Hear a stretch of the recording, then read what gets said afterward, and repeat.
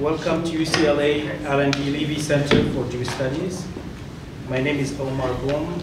I'm professor of anthropology, history, and Near Eastern languages and cultures here at UCLA, and holder of the Maurice Amado Chair in Sephardic Studies, as well as the co-director with my colleague here present here, Sarah Stein, of the Moroccan Jewish Studies program.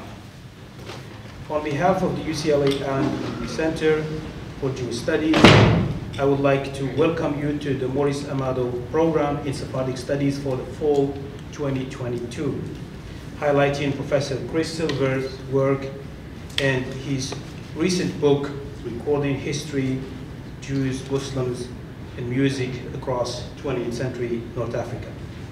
The book will be available for purchase after our conversation and discussion. Uh, it's also available for those of you who would like to purchase it or recommend it to your friends and colleagues through Stanford University Press. This talk is part of the Leve Center's Maurice Amado program, as I just mentioned, in Sephardic Studies series, and is co-sponsored by the UCLA Center for Near Eastern Studies. You can find more information uh, on these talks and other upcoming events at the registration table right there and at the back or visit the website of the center. I want to thank the Alan D. Leve Center staff for making the arrangement for today's event. And please take a moment to silence your phones before we start. So let me start by introducing Dr. Chris Silver, which I'll call later just Chris, because we're more than colleagues, we're friends, we're family. Dr. Silver is the Segal Family Assistant Professor in Jewish History and Culture in the Department of Jewish Studies at McGill University. He earned his PhD in history from UCLA. He's one of our, our own. He is the author of numerous articles on North African history and music, including in the Journal of International Journal of Middle East Studies and Hespéris Tamuda, among others. He's also the founder and curator of the website Gharamophone.com, a digital archive of North African records from the first half of the 20th century. His book, Recording History, Jews, Muslims, and Music Across 20th, North, uh, 20th Century North Africa, was just published last summer, June 2022, with Stanford University Press. Let me begin by a, a general introduction to this work before I start my conversation with uh, Chris. Over 10 years ago, at Cafe Luce in Tucson, Arizona, Chris, a recent undergraduate student from Berkeley University, came all the way to see if he can pursue a PhD in Middle Eastern and North African Studies at the University of Arizona. We had a great conversation about North Africa, Morocco, Jews of the Middle East and North Africa. At the end of it, I recommend that UCLA is the best choice, working with my friend and mentor, Sarah Stein. Chris is today, in my mind and in my book, one of the one of the one of the undisputed leaders in the in the scholarship of sound music and Jewish-Muslim relations in Middle Eastern and Jewish studies. Chris is an unusual historian of music with unusual skills. He knows how to listen to the archives. He's adept at how to access music, musical records across the region, especially North Africa. He's one of the best protectors of and safeguarders of North African sounds. I have followed his journey, and I talked and I appreciated, and I as I talked to many friends across Morocco, we appreciate how all of the effort he's done in saving these records. In my book, as I just mentioned before, Chris has done more for saving these records than many national archives, and I mean that. If you have not visited his online website, Gharamophone, do it please after today's meeting.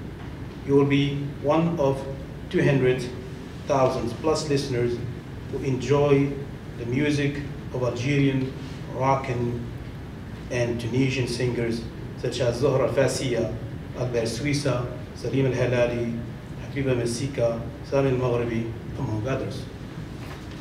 Like any archivist, Chris has made sure that every record is accompanied with a detailed inform and informative biographical note.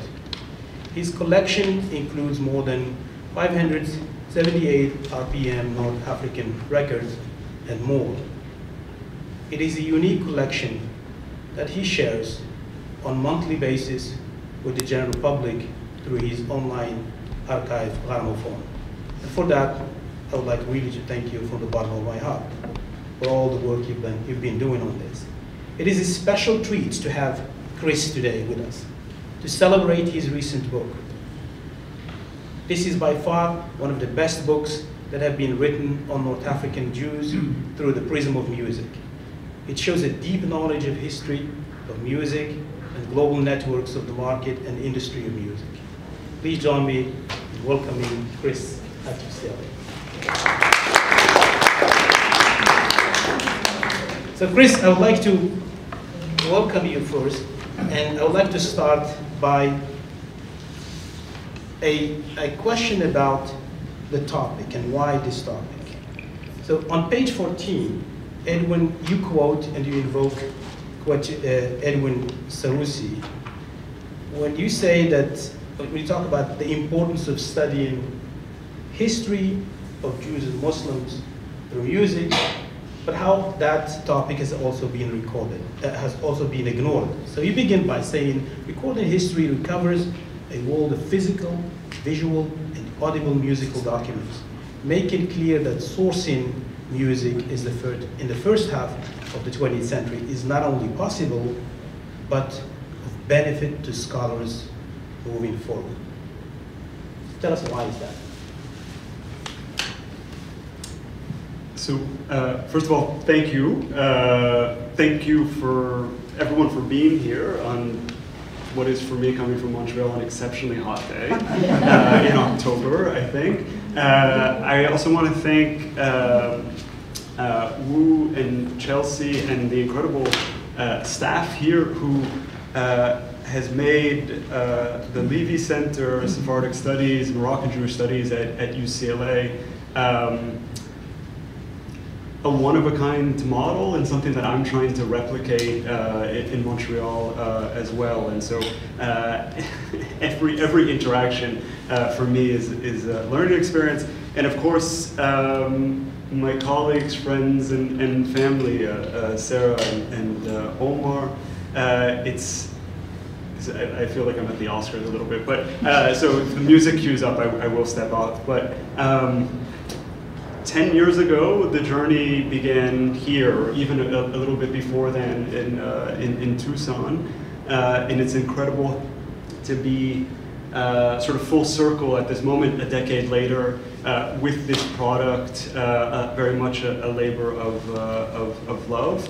and with um, mentors who became uh, not just colleagues, but, uh, but uh, friends and family as well. So I, am deeply touched uh, to be here with, with, everybody.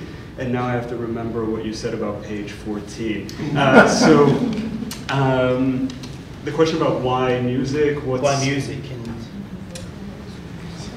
Just with the half dozen names that you mentioned, um, uh, you have slices of North African history uh, Jewish, Jewish Muslim, and, and otherwise, uh, that are, I would say, impossible to ignore. So one, one could ask the question, you know, what would Moroccan history be or sound like without Zohra al-Fassia or without Sami al-Maghribi, who provided uh, uh, the soundtrack uh, uh for uh, a remarkable time in Moroccan history. Uh, the late 1940s, the 1950s, this moment in which Morocco is, is marching to independence, and musicians like Sami al-Maghribi, Zohra al-Fassia are, are providing uh, uh, not just its sound soundtrack, but really sort of an, an anthem, providing um, uh, in my uh, estimate, what the future might uh, sound sound like. Um, and so, you know, any history that's not inclusive of these individuals, uh, of these sounds, from my perspective, and I think many others as well, is doing an injustice to the history itself. And so uh, you mentioned um, uh, uh, I think Edwin Seroussi, or, or I invoke Edwin Seroussi in the book, who, um, alongside Ziad Fahmy uh, uh, in uh, Middle East history, both of them sort of speak to this incredible and persistent phenomenon in which um, you turn to the indices of most uh, modern Jewish history books or modern uh, Middle East history books, and music is, is nowhere to be found, uh, nowhere to be found in, in, uh, in the index. index. Uh, and it's, it's, it's a glaring omission, and, and this, is, um, this is what Seroussi's uh, speaking about. This is what uh, Fahmy is uh, doing in terms of attempting to offer uh, a corrective. Um, uh, the past had a sound, it had many sounds, it had many overlapping sounds, and I think we need to be listening for it as much as we need to be reading for it as well. So do you think that in the field of Middle Eastern studies, in particular, that you are trying also to engage, do you think that the work that you and Ziad Fahmy are doing is opening now a space for other scholars to uh, engage with this topic and to try to understand these Middle Eastern and North African societies through the prism and by using through the lens of music? I think so. I, I, you know, I can point to a few things. I mean, one one of the interventions I'm making as well is to sort of, um, I I I would like, when we're thinking about sort of the music of the wider region, when we think about someone like Um to be able to invoke a Habiba Msika as well, or Louisa Tounsia, or Ratiba Shami. I mean, there's sort of, there are many uh, names that are uh, worthwhile uh, uh, invoking. Uh, there are many histories there. this was never just a single musician or a single star, but we sort of, in some ways, it's, it's been reduced to that. I mean, often we sort of, it's Um it's Feiruz, and then we, we sort of stumble uh, upon sort of anyone uh, west of, of Egypt. So part of this is also an intervention to make sure that uh, we, we recognize that there was a thriving industry uh, and scene and multiple scenes, again, across uh, uh, not just the Middle East, but uh, North Africa as well. And, um, you know, I I'm cautiously optimistic that we're at a moment of change.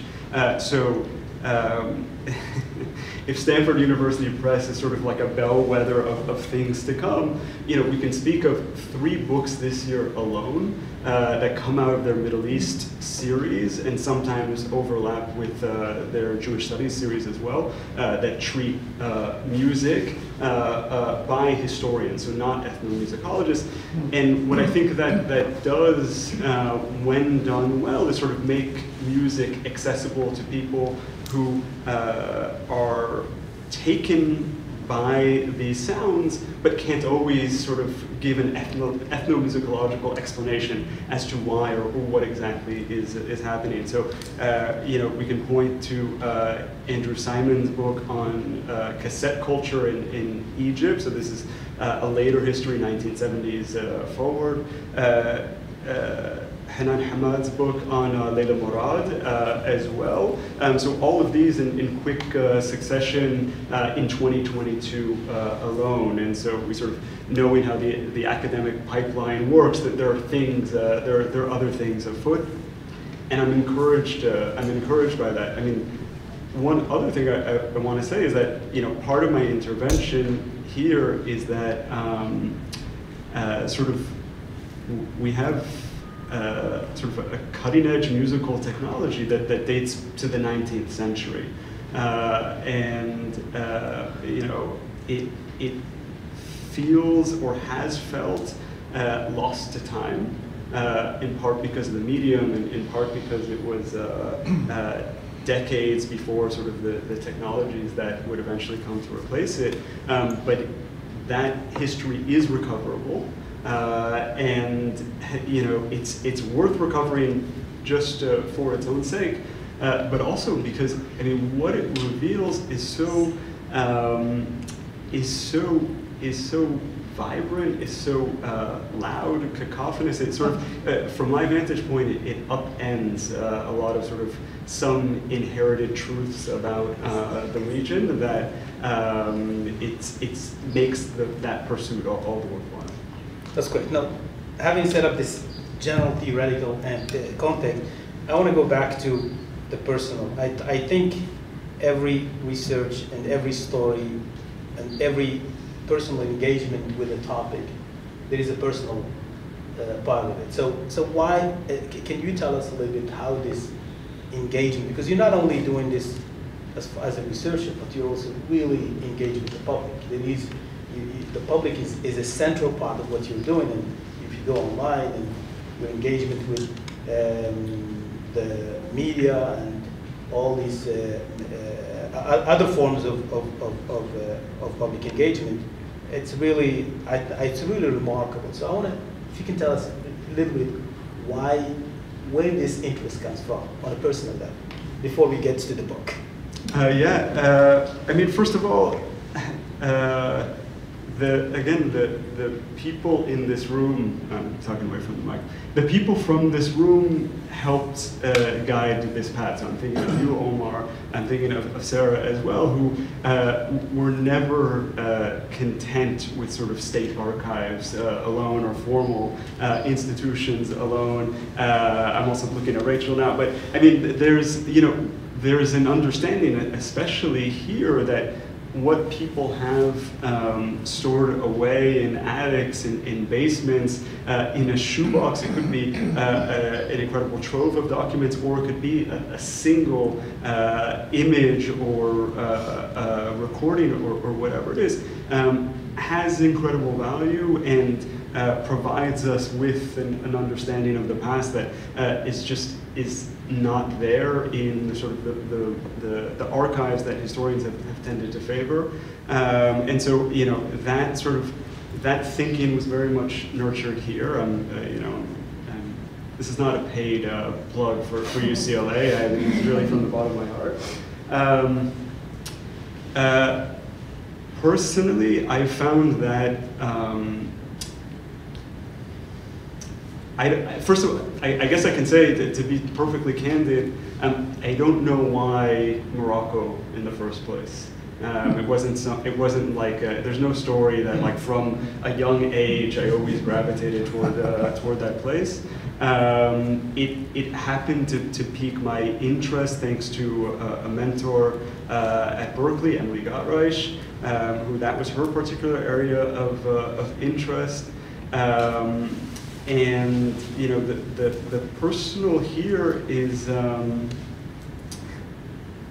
you know, the, this, the, the story I, I tell as, as often as, as people ask it is that, you know, I was in Casablanca one day uh, walking down the street, as, as, people do. It was 2009. Uh, and I happened uh, upon an actual record store, uh, not selling CDs, not selling uh, cassettes, actual uh, vinyl records. And, and I was um, intrigued by that in 2009 in Casablanca.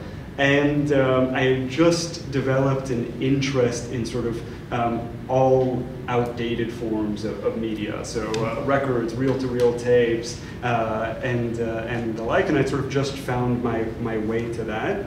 And the proprietor of the store very graciously gave me uh, a sonic tour of what, what uh, stock was still there. So I knew nothing of uh, Moroccan music, or very little of Moroccan music, and I asked, I promised I would purchase some things, and I asked uh, the proprietor to play some records on the aging turntable in the store.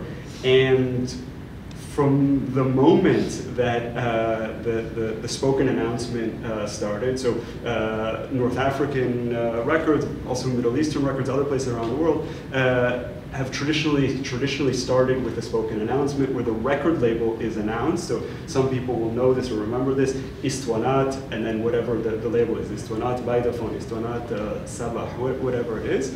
Uh, and then the name of the artist, the song, and, and, other details. And it's just, it's an experience that really draws you in uh, to that, to that, uh, to that music. Uh, and I, I was already sort of hooked And then the proprietor sort of whispered to me after every other record that was played, for no particular reason, but uh, something that set me on this on this current uh, uh, path. Uh, by the way, that was uh, Zohra al and she was Jewish, or that was Sami al-Maghribi, and, and, and, uh, and, he was a, a, Jewish artist. And um, I, I thought there was a, a there there. I, I, sort of felt like um, sort of historical inquiry, inquiry often begins with a whisper like that. Uh, sort, sort of uh, someone with deep knowledge, uh, not necessarily sort of a, a, a, trained historian, but someone who uh, sort of has been trained by life to understand their past, um, set me on this path, and I um, purchased these records uh, came to know them much better and thought uh, there's no reason why they should rest in my uh, living room alone, but I want to have them uh, live again in, in, other spaces. And I also imagine that there were people out there who knew much more about this than I did, uh, and that I could have that uh, back and forth with. And, and, this is what you're alluding to, and, and that has been uh, my great fortune and, and uh, uh, pleasure um, since that, that fateful moment in, in, 2009 where, you know, there are, I think we all know, but there are people who are constantly um, Googling the same family name over and over again, hoping for some glimmer of, uh, of information or detail. Uh, and, and, and, in fact, the, the, repetitive nature of these Google searches, in fact, uh, uh improves them. And so uh, every once in a while, they hit on something that I digitized and uploaded and tried to contextualize. And then I made myself as, as accessible as possible. Uh, and they would get in touch, and inevitably I would end up in uh, a living room in uh, Paris or Tunis or Tel Aviv or, or, or, whatever it is. And the photographs came out, and uh, family stories uh, uh, came out, and I was able also to provide um, the actual voices of these loved ones that they hadn't heard in, in some cases in, in decades. Um, and then also sometimes I was able uh, to furnish uh, an intelligence report uh, from, uh, from uh, the French colonial authorities, and these people had no idea that their record store was ever under surveillance, or in fact their great-grandfather was engaged in subversive anti-colonial behavior, and thus another conversation. But that's, but that's really, uh, sorry to interrupt you, but I, I think that's, that's really one of the most, I think one of the most powerful contributions in, in your work. I think your, your work has a history. You, you begin, begins with the archive, but it never stops at the archive. It really has a life after life. It continues into the moment. So I want to go back to that prehistory before we get to talk about what's going on right now and where you're taking this research. And so one of, one of the, uh, it, everything begins with the label with these labels and the commercial, the context of this label, the social context of these labels and the market of these labels, the commercialization of these labels. Can you tell us a little bit about that before we get to the singers, the singers who are engaging in this? What is, what is the context, not only in Morocco, I think you're talking about Algeria, you're talking about Tunisia, you're talking about Morocco and, and, and, the, and the metropole and the French metropole. Yeah, that's a good um, that's a good place to start indeed. So I mean the the context is um, you know, the birth of recording technology in the 19th uh, century, sort of the middle of uh, the 19th century. Uh, we get the, the very first uh, recording of, uh, before uh, Edison, we have Au clair de la lune. we have a, an incredible recording of, of that from um, 1860 or, uh, quite early. Eventually, we'll get to we'll eventually get to Mary had a little lamb on a, on a piece of uh, tinfoil. Um, will arrive at a moment in which uh, recording already in its early days is sort of in this uh, state of flux. So some of the technology is there, but the question is, uh, you know, to which to which end? Is this going to be the latest uh, dictation software of the late 19th century? That's one image or understanding of, of where this may lead, uh, or is it going to be something more frivolous, uh, quote unquote, which is uh, music, uh, an ability to, to record music in a way that differs, of course, from, uh, from notation.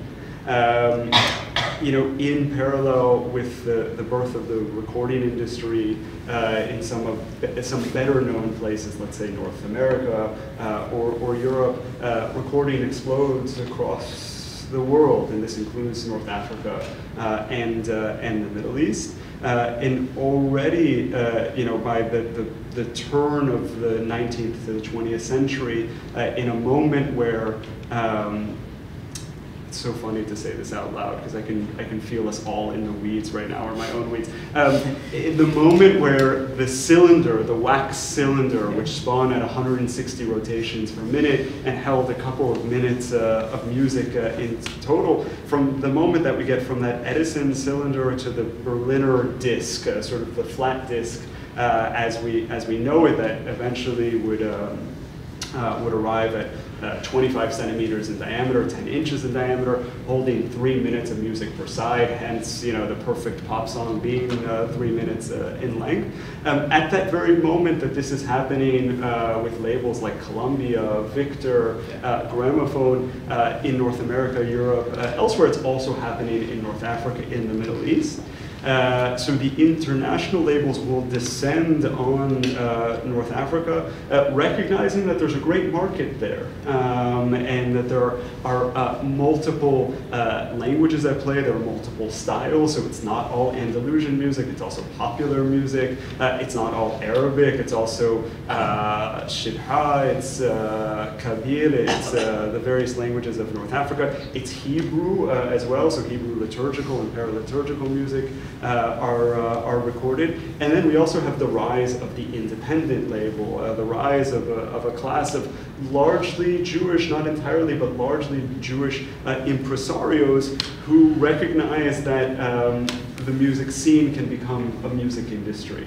Uh, and uh, what we're talking about is sort of, it's no uh, flash in the pan uh, phenomenon already by uh, the years between the two world wars. So uh, by the 1920s, uh, we're talking about thousands of individual uh, records released, meaning individual songs or, or, pieces of the repertoire meaning that tens of thousands, and in some cases low hundreds of thousands of records are circulating across North Africa by the 1930s. So um, this is a tremendous amount of, uh, of material uh, that in many ways it is everywhere because the 1930s is also the moment when we get the rise of, of radio uh, in Morocco, Algeria, and Tunisia across the Mediterranean. The same is true in metropolitan France. So um, this industry has really come into its own in the 1930s. It's robust and it existed, even though sometimes we might feel like it didn't because we, we couldn't find the records in the first place. Great. So, so who was listening to this uh, in terms of the audience, uh, in terms of class? If you can just a little bit before we get so to the, I would say, it, you know, in some ways, the, the easy answer is that everybody is listening uh, to this. Uh, part of the, the class equation is uh, who owns a phonograph. Um, and so, you know, what's nice about the phonographs, especially at the beginning of the 20th century, is um, that they uh, don't need to be plugged in. Uh, they're, they're wound, and so uh, what this means is that they, you don't need to be on the grid. Um, and so this can be uh, in sort of the most, uh, a phonograph can be found in the most uh, humble of cafes, uh, as well as in the Royal Palace in, in, in the Moroccan case as well. Um, but if you look both at the sort of the more traditional archival records of the French archives, um, phonographs are everywhere, and Jews and Muslims are, are, listening to music often together and everywhere. and part of the concern on the part of the French authorities is that it's bringing multiple classes together who wouldn't otherwise come together. Um, the, the music is also, especially when we get into the popular realm, is sort of um, is, is served at this level is sort of is, uh, is, is thought up and then presented at this level where it has to uh, appeal to uh, we're moving away from class a little bit but sort of uh, multiple generations. It's music uh, as, as, um, as one scholar put it uh, that fathers and daughters alike were supposed to be able to listen to. Um, and so in some cases this meant that they're, they're really the, the music is, is pushing the envelope in, in, in, uh, in, in, new directions. Uh, it's got a sort of um, a, a, modern aesthetic to it, either uh, musically or, or, or lyrically. Um, but again, you know, sort of from the most uh, humble to those with, um, with just sort of boundless means. Uh, everyone is, is listening to this. And, and, you find it in memoirs as well. It's not just in, in the archival uh, record, but you find this in memoirs. Um, uh, Raoul Journo, who's one of the great uh, Tunisian uh, artists, born in 1911, uh, born in, in, a particularly uh, difficult uh, section of the Hara in, in Tunis, recalls that there was a phonograph in his neighborhood at a, at a, local haunt, at a cafe there, and that was his first introduction to um, records. It was his first introduction to Egyptian music because records were circulating uh, not just in North Africa, but uh, across to the Middle East as well. I'm going to shift gears and move to a different topic here. And I want to move to one of the stars of the book, Habiba Msika. And this, I want, if you can talk to us a little bit about this uh, singer and the importance, her importance, not only in in Tunisian context, but also in the broader North African context. I want to plug also a, a, a note here, plug in a note here that really highlights the, the, one of the beauties of the book is that you really focus on women as much as men. And I think that's, I think that's really an addition to, I saw, I see it as something that's really important as far as how we, we talk about gender issues and how music is also one way to highlight those. And so if you can talk to us a little bit about this character and why you, you center her at the beginning before we get to World War II, before you get to yeah, thanks. I mean, she's an incredible, um, she was an incredible person uh, for those who, who, who, know her or, or, don't. Um, uh, sort of the first superstar uh, across North Africa. Um, so, uh, born in, in Tunis in, in 1903. Um, Habiba, what was the? Habiba, Habiba Msika. Uh, born in Tunis in, in 1903 uh, to uh, again a, a, working class uh, Jewish family, which is which is the theme of, of the book. Again, to this this issue of, uh, of class, and she comes from. Um, uh, she comes from music. Uh, her father uh, is a musician who records uh, a little bit. Uh, she's got an aunt and uncle who are also in the in the recording industry. Um, she is a popular artist, although she also dabbles in the, the, the classical high art Andalusian repertoire. Um, but really, she um, is known for uh, her popular music, which, it, which again pushes the envelope. It's, um, uh, it challenges uh, social norms, it, it, it challenges uh, where women's place is supposed to be uh, in society, uh, what it means to be modern. She does this not only through um, her, her lyrics, where she sings. You know, she sings quite provocatively. So um, she sings uh, this this um, uh, this uh, song about a, a lover, uh, and and the sort of the, the, the, the conceit of the song is so she, she introduces she introduces uh, how she had this lover uh, and how she could never forget him. Okay, so already sort of like uh, pushing, uh, pushing the bounds of, of, of what's, uh, what's acceptable. Uh, and she repeats this over and over again. And then she moves on to what she names as a second lover. Uh, and the question is, how could she forget him uh, either? And then she continues on to a third, fourth, and fifth. And so, you know, I, I mean, what she's, what she's doing here, I mean, you know, we could, we could read it in a few different ways. This is, this is popular music, and that's always what, what popular music uh, has been, but she's someone uh, who is uh, uh, adored uh, by uh, the masses, uh, Jewish and, uh, and Muslim. Uh, her, that popular music has an impact on people, her presence has an impact on people, uh, from, again, sort of those, um, those who, who, who don't always get history written about them, to figures like Habib Bourguiba, the first president of independent Tunisia and its longtime president, who writes in, who, also was an actor, whose brother was an important actor in Tunisia, who acted uh, alongside Habiba Msika, and he talks about the impact that she had on him in the 1920s. He talks about skipping French class to go see her uh, on stage or, or in, uh, in concert. Um, and you know what I also try and do in the book is, is as best I can really to write across North Africa. Uh, sometimes we do this in titles that it sort of it, it works to say North Africa instead of um, you know Morocco or Algeria. Um, but her popularity was not limited to Tunisia by, by any stretch of the imagination. Uh, very popular in Algeria, where she's sort of credited with um, set, She was also a, an, an, actor, so she was credited with um, setting. Uh, the Algerian stage, sort of setting it on its on its path. Uh, adored in uh, in Morocco as well. Um, she uh, records uh, in Berlin, also in the, in the 1920s. and you know what makes her, in part, an incredible figure is because of, of, of tragedy, of, of her tragic circumstances. she's murdered in, in 1930 at the age at the age of 27 in really brutal uh, circumstances, the victim of, of male violence.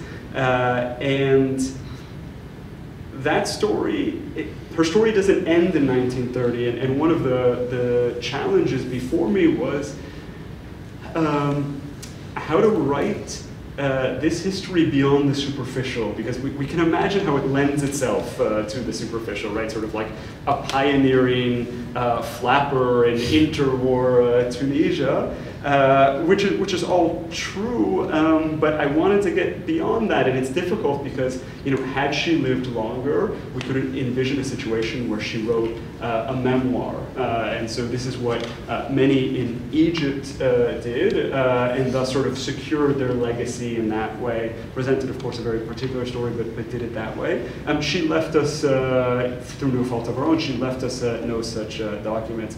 So one of the ways I tried to reconstruct her story is also sort of thinking about the, the musical impact uh, of, of, of her uh, and her history. And so, you know, in the immediate aftermath of her death, death and this is you know what in, in some cases bringing um, what recovering actual um, phonograph records brings to, to this uh, to this history um, uh, something uh, on the order of, of, eight or ten individual recordings by major stars of the time uh, about uh, Mount Habiba Msika or um, the death of Habiba Msika. Uh, in some cases, uh, one artist in particular um, saying of Habiba Msika uh, as, as if it was Quranic recitation. I, I, mean, just like incredible um, sort of, um, you get a sense of her impact in that her music continued to circulate after her, uh, her death, uh, but songs about her also circulated uh, in the aftermath of her death, and these were among the bestsellers of the time.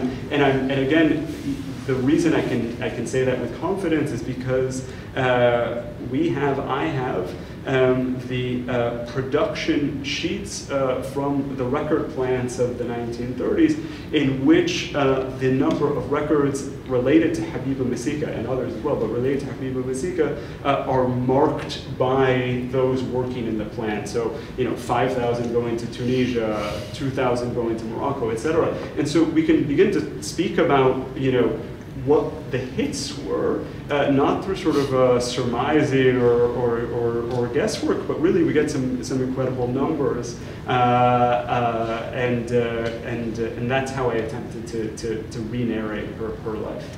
That's great. I'm looking at time. Yeah, because, so, but but we have a lot. We haven't even scratched the surface. Long, long in the tooth. We haven't even scratched. But so I want to I want to move a little bit further and talk about the 1940s, the war, the period of the war.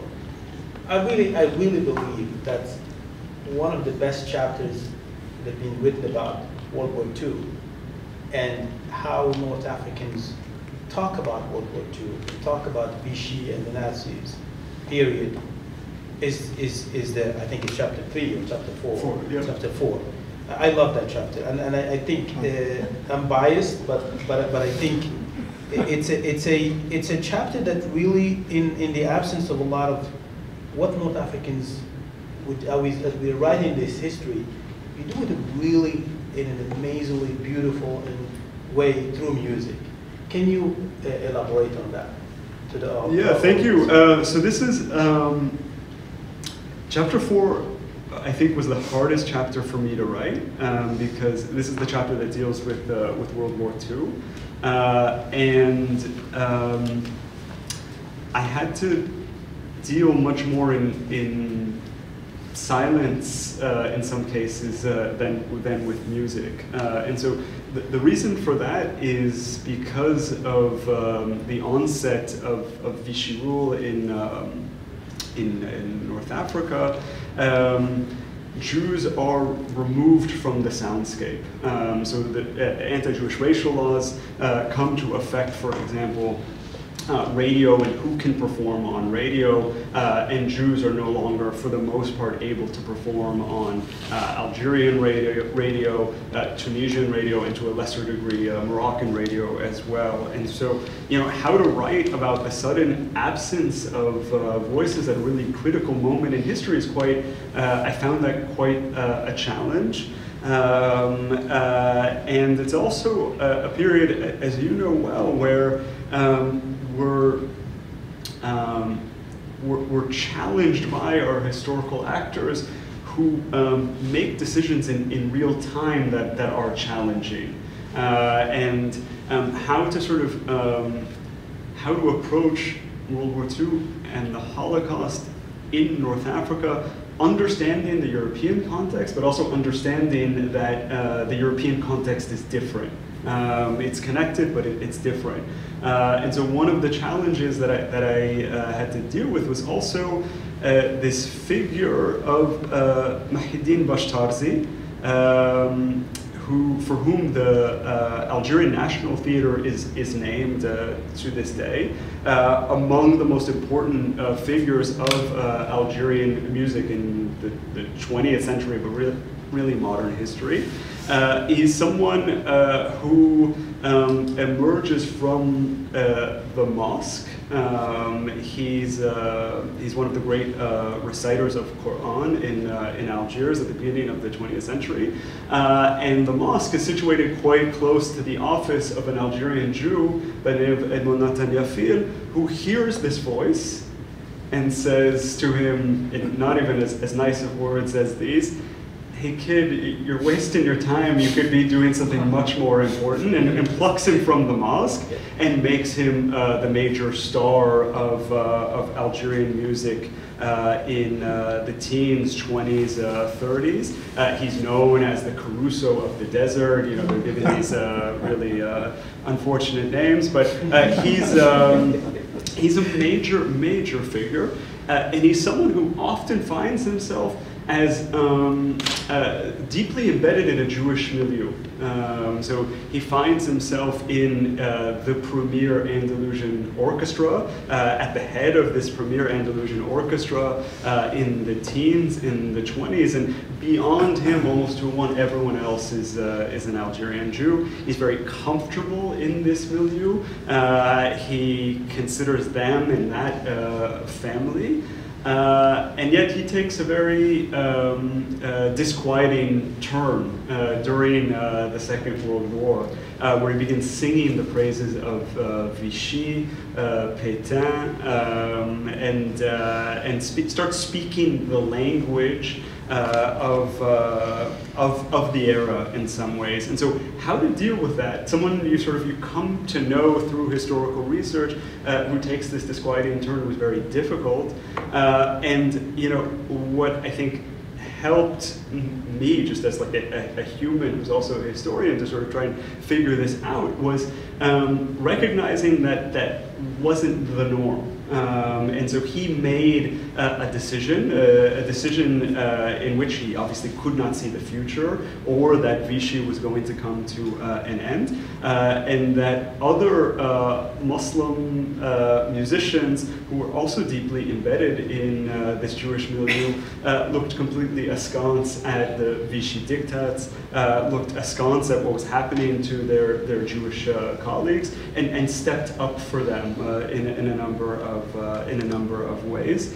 Uh, and so let me just say that that was sort of the, the challenge of, of what to do with figures like that. I should, I should also add that um, his relationship with the Jewish community will rebound after the war. So he'll maintain a relationship uh, with some of the uh, former members of this uh, Andalusian orchestra uh, from their what we might call from their exile in metropolitan France uh, after uh, the 1960s. So through the 1980s, he will, he will be writing letters back and forth with, with former uh, members of, uh, of his orchestra. Um, the other thing I wanted to do was um, amplify the other uh, sounds, uh, including recorded music, uh, of North Africa of the, the period to enrich that soundscape a little bit. So uh, to the one, if you ask someone sort of, you know, like give, give us the soundtrack of World War II in North Africa, uh, the answer will be American. Okay, a, a song by uh, a Moroccan uh, musician, uh, Houcine Slaoui. it's a song about um, American soldiers in Morocco and um, uh, the chaos that ensues as they're pursuing women, uh, handing out um, candy and cigarettes and, and things like that. And, and chewing gum, ex exactly. um, but there was there were other takes on American arrival. There were other takes on, on what the post-war uh, environment uh, looked like, and those were also uh, recorded. Uh, and so um, I wanted to, to, to amplify those sounds as well. So I, I, have a lot of other questions, but I have one. I'm gonna ask, uh, ask one last question because I really want to give the space for the for the audience to for a few questions before we end. So, um, of all of these conversations that that we had about different forms and different genres of music, today the majority of the discussions are about Andalusian music. So, if you can talk a little bit about where you place Andalusian music in this spectrum and what it means today in the conversations about convivencia, about the politics of conflict that you see in the Middle East and other parts of the world. And so how, how you situate this genre and in relation to all of these other debates. And then where do you see, second part, where do you see future conversations about this topic, music and North African studies? Uh, two great questions. Um, so, um, Andalusian music is important. Uh, it's uh, it's important because it's, it was important to many of these historical actors.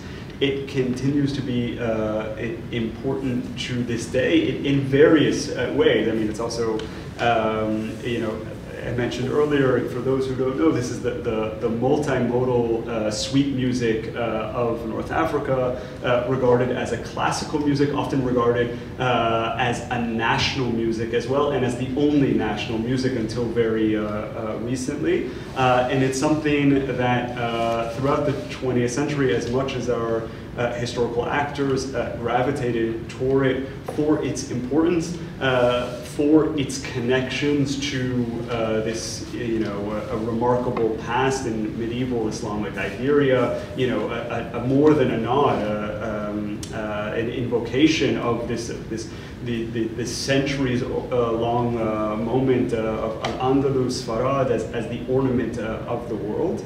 Um, it was also always instrumentalized by the state. Um, so this is uh, this includes uh, the French colonial uh, authorities, but also the independence governments in, in Morocco, Algeria, and Tunisia, uh, which means that um, uh, scholars have, you know, by and large, when, when we're writing about North African music, by and large, it's about uh, Andalusian music, which for me is problematic because what happens to uh, Shabi or different types of popular music? What happens to Gnawa? What happens to uh, Stambeli? What happens to Rebaibia? What happens to uh, all of the other uh, uh, traditions that are, are there uh, and that were also important to our historical actors? So in the book, I, um, I uh, I, I think I nod and motion, uh, maybe, like some sort of manic uh, conductor to uh, Andalusian music, but I really try to, uh, to amplify uh, the, the popular music that was so uh, often denigrated um, by colonial authorities, by uh, the elite. Uh, it was really the music that uh, people um, latched onto and, and which enabled them to uh, envision themselves anew, sort of speaking of uh, different forms of, of understanding themselves as modern and in, and, and doing so in, in Arabic. Uh, also, when we speak about anti-colonial music, uh, national music, um, this was not drawn from the Andalusian tradition uh, by and large. And so um, what I'm trying to do is give a space and provide an opening uh, for the multiple, uh, sometimes overlapping, but multiple forms of, uh, of, uh, of, of, music in, in North Africa, including popular. Um, the, the, second question is where do I see this going? By the way, just to, as a comment, I really I really appreciate that. I really appreciate that censorship of the, the regime in the book. I think I think it made it's distanced your work from, and you brought something really different. Not, not only, I think you also it's an awakening in the field, and I, that's one of the things I really appreciated about that. Thank you. Yeah. i will be known as the person who took down Al Andalus. That's uh, good. uh, so, so the, the, my, my last question is about the field. Where do you see the field? We, you, we already touched upon it in the beginning, but I think it's something also, uh, uh, what, what themes that you see that are not, uh, that you and the, your other colleagues who have worked on, on this topic have been working on, where you see more work be done? From, from my perspective, um, this book is just a, a scratching of the surface. Um, and so um, I, I see the field as, as wide open, but in, in sort of the most positive of ways. Um, I, I, hope this provides an opening uh, for, for uh, further inquiry. So, um, you know, um, there's much more that could be said about um, music as an industry, not just in the first half of the 20th century, but in the second half, uh, up until uh, up until the present as well. You know, sort of, you know, how we get from cylinders to Spotify, and how uh, the musicians of today are uh, informed about sort of, you know, where where the industry once was, and sort of provided the infrastructure of today. And you know, you know the. Um, this is, you know when you like catch yourself saying something out loud that no. If anyone was following uh, the DJ Snake phenomenon uh, of this summer or knows anything of what, so just for a second, sort of uh, much of popular music of the last decade um, is indebted uh, to uh, a French producer, half uh, of half Algerian origin, uh, who goes by the name of, uh, of DJ Snake. Um, uh, if that was on your bingo card today, congratulations. um, and this summer, he um, filmed or released an incredible music video about Algeria, dedicated to the people of Algeria, and also dedicated to the format of the cassette. Okay, so this is whatever year we're in, 2022. Uh, um, uh, the cassette, you know, of course, is now decades old. Um, this mega producer and star um, released uh, his music uh, on streaming platforms as well as on a cassette that you could uh, that you could uh, purchase. And so, you know, he's constantly paying homage to this past. Algerians around the world were quite taken with this video, which this music video and the music itself, which was quite uh, stunning. And one of the things he does is he spotlights um, a cassette distributor and producer in uh, Oran. In Oran. Uh, that site, again, you know, I, I, we might be thinking just sort of in terms of a musical bubble here, uh, but that's one of the sites that uh, the French president visited uh, recently uh, in a bid to secure uh, oil for France in the midst of sort of our, our, our, global moment. and he's there and he's holding up cassettes and he's paying homage to this place. and so it's no trivial matter, it's no minor matter. It really becomes a minor, a matter of the highest echelons of, of, of, of, state. So understanding sort of that the cassette once existed, that the, and there was media before then is, is, uh, is, is, quite uh, important in my view. Uh, but again, it's wide open. For example, radio. Radio. Um, we sort of, the, the, uh, the narrative we have about uh, radio uh, is, is very much sort of um, indebted to Fanon. Uh, very much understood as sort of um, uh, a, a, weapon of, uh, of the disenfranchised only at a certain moment in time. Um, but there's much more to that story. Um, there were many ways that uh, radio was uh, used by uh, Jews and Muslims in an earlier period, uh, not just the 1950s, but already in the 1930s, uh, to serve their own particular uh, aims. and there's been some scholarship on, on radio, but there's much more to be done. I have a piece that's coming out in, in 2023 about a Jewish program that existed on Radio Tunis uh, from 1939 to 1956, uh, and it was called the Hebrew Hour, uh, although it was in a mixture of uh, French and Arabic. Uh, there was also Jewish radio in Morocco from 1950 until 1965.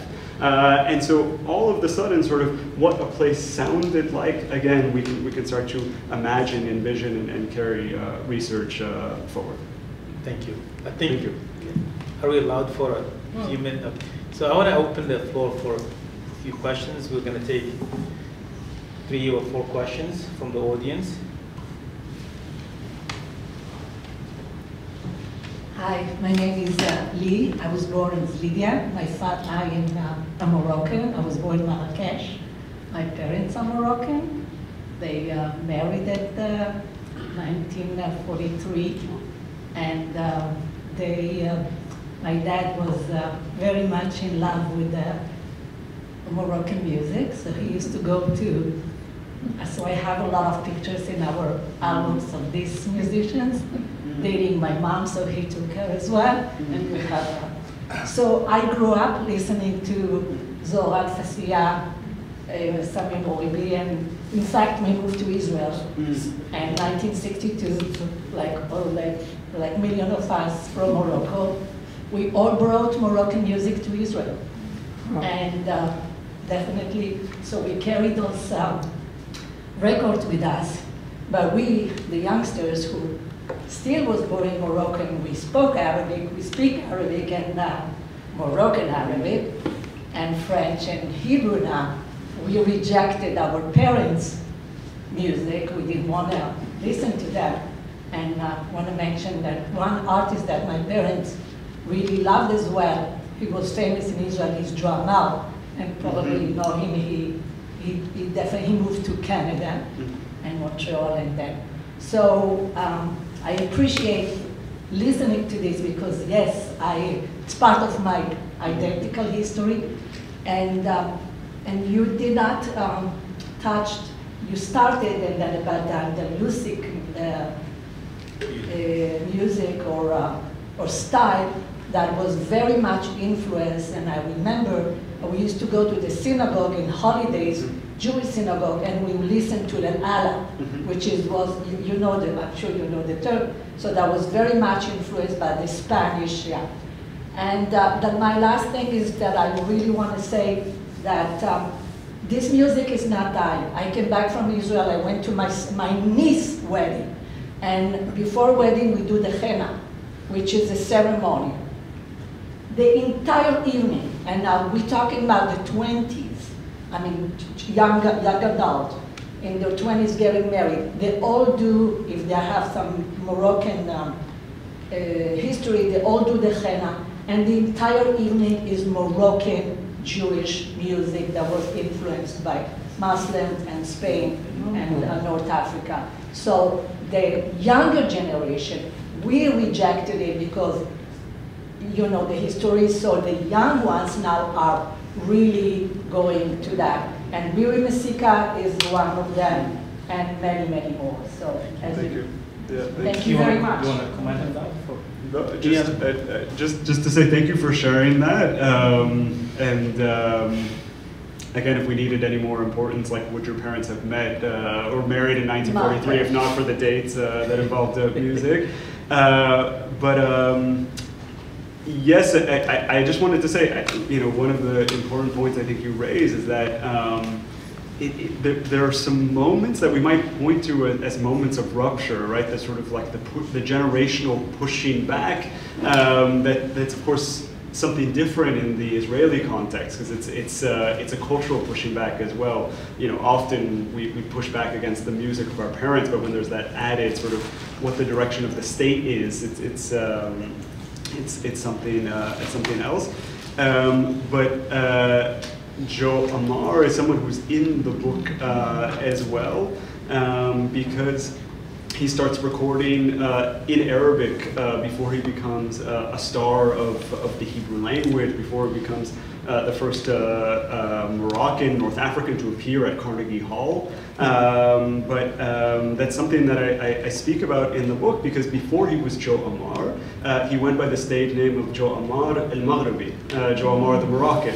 Uh, and he sang in Arabic, continued to do so in Israel. And he also sang about the Moroccan condition in Israel, about the difficulties in particular that were, um, that were placed on, on Moroccans because of, of, of discrimination.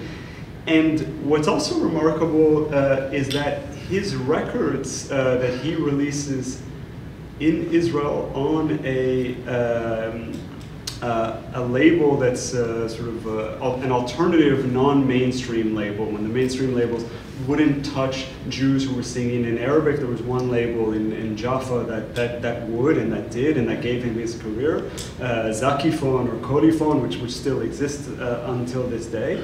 And his records, in fact, uh, as soon as they were released uh, in Israel, uh, made their way uh, to Morocco uh, and to Algeria as well. And so in the 1960s, at this moment where we sort of think uh, that those connections are difficult or impos impossible, uh, or we've read a sort of about how there's no post, right, there's no letter writing uh, between these places, uh, the physical records are actually moving there, uh, which is sort of, which is sort of incredible. I, I, was taken by your, your comment that your, your parents brought these records uh, with them when they departed uh, Morocco. A very difficult uh, and traumatic move. Uh, and you're trying to figure out what you can pack and what you need, and to think that uh, heavy shellac records would make it into the suitcase um, is, is, something to think about.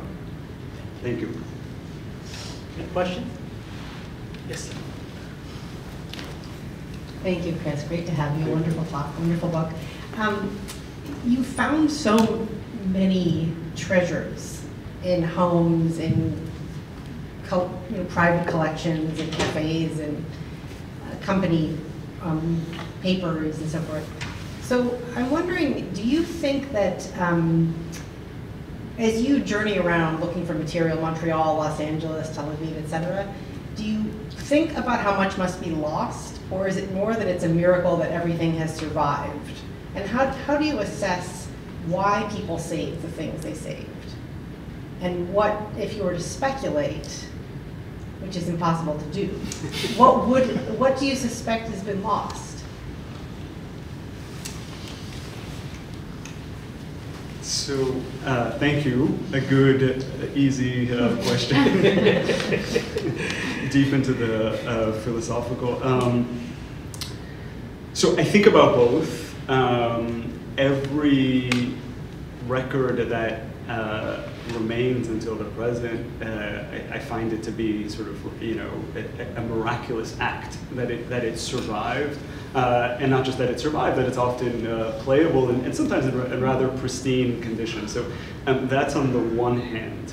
Um, on the other hand, um, in theory, a great deal has been lost. Um, and, you know, there are there are the records themselves, um, but there was also, you know, uh, all of the ephemera that went with them. Um, so the sleeves that they were placed in, uh, company catalogs, right, listing um, uh, records that um, uh, uh, were released, um, uh, concert posters, which existed already, you know, at the end of the 19th century, but also the, the 20th century uh, as well, uh, photographs, um, and um, and so I guess the way I approach it is that. Um,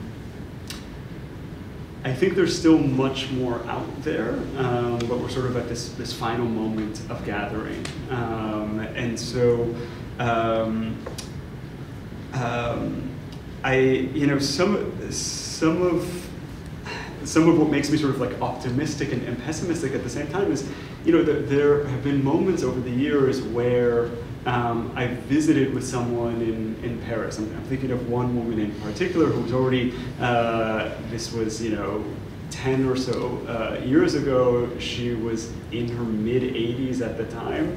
Um, and I, I, don't think she's still with us. And she was the, the daughter of um, the, the, foremost pianist uh, in North Africa, uh, someone by the name of Masoud Habib. Um, and she had memories, uh, and she also had a dozen photographs that I had never seen before, mm. um, that I also photographed, um, and that I now believe are, um, the originals are now lost. Um, maybe they're with, uh, scattered among uh, family members, so you take a couple, you take a couple, you take a couple. Um, and so that's, that's, quite, um, that's quite disquieting because um, there's the potential to gather at, at, various moments, and then and then suddenly uh, life circumstances sort of uh, sort of takes that uh, away.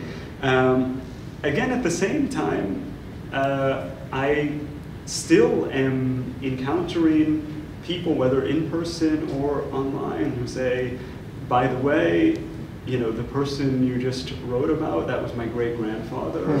Uh, and I have three recordings, and uh, this this um, this great uncle has uh, a portrait of him, and so um, those materials are, are continuing to materialize.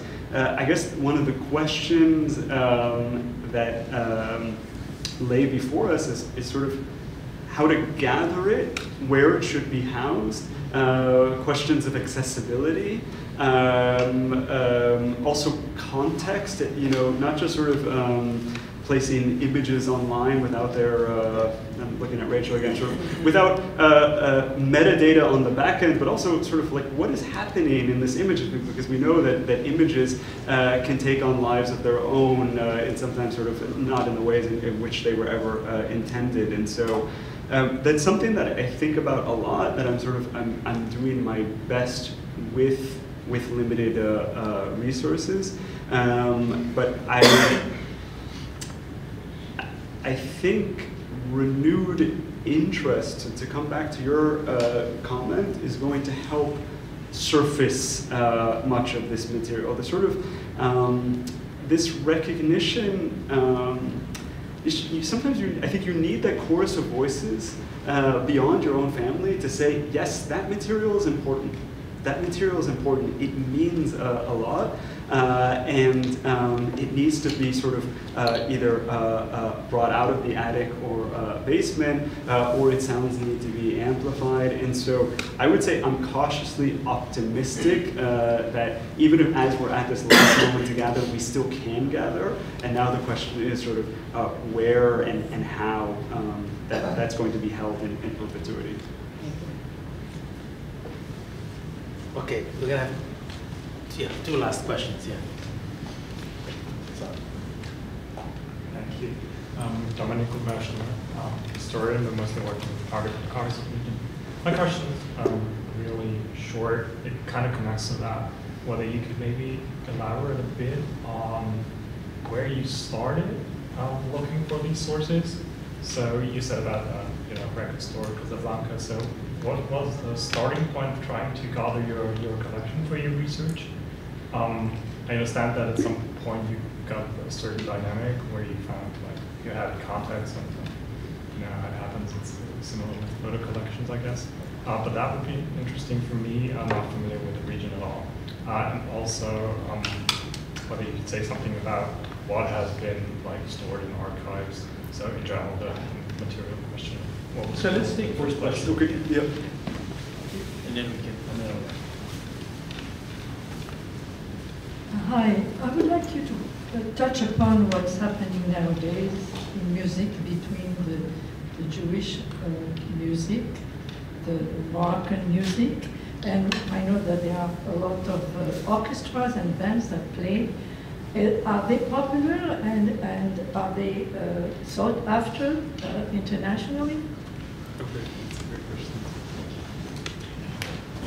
Um, uh, to, to start, um, so the where do we begin? I, you know, the question of archives here is is important uh, because uh, a sort of a, a, natural starting point for historical inquiry might might have been uh, a phonotheque, uh, sort of a, a, place where these records uh, were held in, in Morocco, Algeria, uh, or Tunisia. Um, and that's a challenge, um, you know, to begin with the, the, process of decolonization, which uh, meant that uh, not all of the archives, as, as we know, but many of uh, uh the archives were, were, brought back to, to metropolitan uh, France uh, with the departure of, of the French. Um, if I had been able to start this work in the 1960s, um, which would have been hard, but uh, it, it, would have been, uh, in theory, easier to access these phonograph records in their original archival spaces. Um, so if you think about the radio stations in Morocco, Algeria, and Tunisia, um, they had uh, archives, they held uh, records, uh, and over the years, owing to a number of factors, uh, including things like a civil war in Algeria, uh, but also sort of the, the, twists and turns of decolonization, uh, reduction in funding for radio stations. Um, it's meant that uh, many of the sort of spaces where we might have thought these uh, types of records would be held um, are empty. Um, and uh, that's not to say that they were discarded, uh, but that is to say that they're, they're probably in, in individual hands uh, now. And this is not a story that's unique to this region. This is a, a story that's um, a true of, of, many of many uh, of many places. Um, and so that makes, of course, the task difficult because it's a dispersed um, collection. And of course, uh, radio stations, especially colonial radio stations didn't hold everything, right? They wouldn't hold uh, music that they deemed to be subversive or anti-colonial uh, nationalist. Uh, and so um, this has meant that I sort of, as best I could, I had to innovate in terms of uh, locating uh, records and sort of fashioning an, an archive of, of, some sort. Um, and then, of course, I have to make decisions about sort of what does this archive look like, uh, right? I'm, I'm in the story in, other ways as well.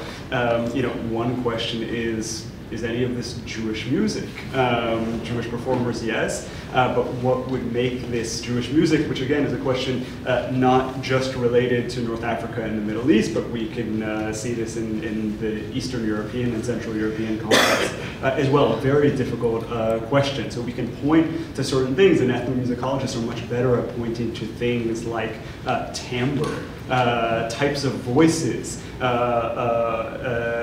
uh, forms of pronunciation, uh, the way that some Moroccan Jews spoke, but not all. Sami al-Maghribi, who we've invoked a number uh, of times, who uh, this uh, crooner of, of, the 1950s, sort of a rat, Moroccan rat pack rolled into one, who eventually makes his way to Montreal, where he becomes the Chazan, the cantor at the Spanish and Portuguese synagogue there. Um, his Arabic pronunciation is not Moroccan Jewish pronunciation. He wanted in, in his estimate, a higher form. He wanted sort of a standard form, and that is what he aspired to. Uh, and you look at some others, um, Sheikh Mouijo is, is someone who, whose, whose Jewishness can be heard, Yeah. uh, but whose music isn't necessarily uh, Jewish. So, um, so this has meant uh, that uh, uh, record stores wherever they existed was, were sites that I uh, visited. Uh, um, poor me, uh, Parisian flea markets and, and, and the like. Um, individuals who reached out and said, I have this, are you interested, would you like it?